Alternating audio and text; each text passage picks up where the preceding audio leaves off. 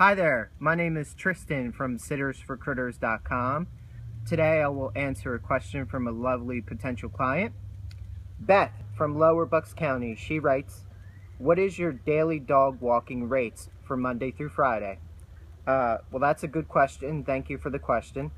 Uh, we rate our, our walks based on uh, per calendar month.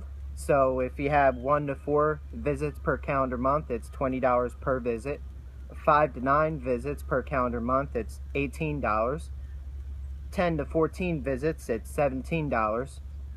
15 to 19 visits, it's 16 visit, uh, $16. 20 or more visits per calendar month, it's $15. That's our lowest rate on the scale.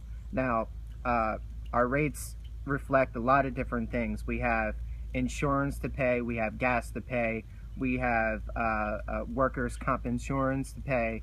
Uh, so a lot of things that we charge on a professional level, it all makes sense for us by charging these fees. Now we are professional. We're uh, the leading dog walker for Philadelphia, according to PHL 17.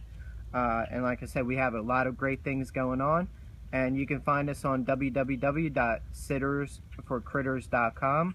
My 800 number is 1 800 655 6071. Thanks. See you. Have a great day.